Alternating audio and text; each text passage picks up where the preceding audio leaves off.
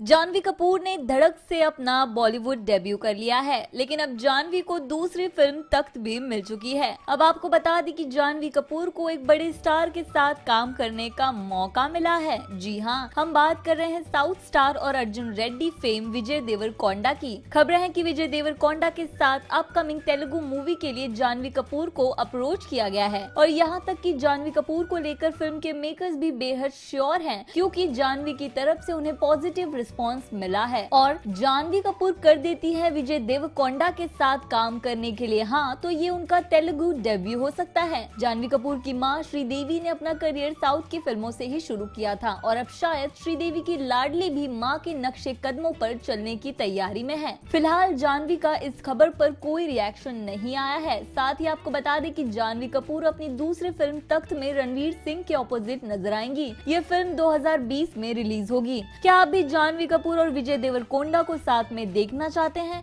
तो comment box में लिख के ज़रूर बताएँ और सब्सक्राइब करना बिल्कुल ना भूलें। जानवी कपूर ने धड़क से अपना बॉलीवुड डेब्यू कर लिया है, लेकिन अब जानवी को दूसरी फ़िल्म तख्त भी मिल चुकी है। अब आपको बता दें की जानवी कपूर को एक बड़े स्टार के साथ काम करने का मौका मिला है। जी हाँ हम बात कर रहे हैं साउथ स्टार और अर्जुन रेड्डी फेम विजय देवर कोंडा की। खबरें है की विजय देवर कोंडा के साथ अपकमिंग तेलुगु मूवी के लिए जानवी कपूर को अप्रोच किया गया है। और यहाँ तक कि जानवी कपूर को लेकर फ़िल्म के मेकर्स भी बेहद श्योर हैं, क्योंकि जानवी की तरफ़ से उन्हें पॉजिटिव रिस्पांस मिला है। और जानवी कपूर कर देती है विजय देवकोंडा के साथ काम करने के लिए। हाँ तो ये उनका तेलुगु डेब्यू हो सकता है। जानवी कपूर की माँ श्रीदेवी ने अपना करियर साउथ की फ़िल्मों से ही शुरू किया था। और अब शायद श्रीदेवी की लाडली भी माँ के नक्शे कदमों पर चलने की तैयारी में है। फ़िलहाल जानवी का इस खबर पर कोई रिएक्शन नहीं आया है। साथ ही आपको बता दें कि जानवी जानवी कपूर अपनी दूसरी फ़िल्म तख्त में रणवीर सिंह के ऑपोजिट नज़र आएँगी।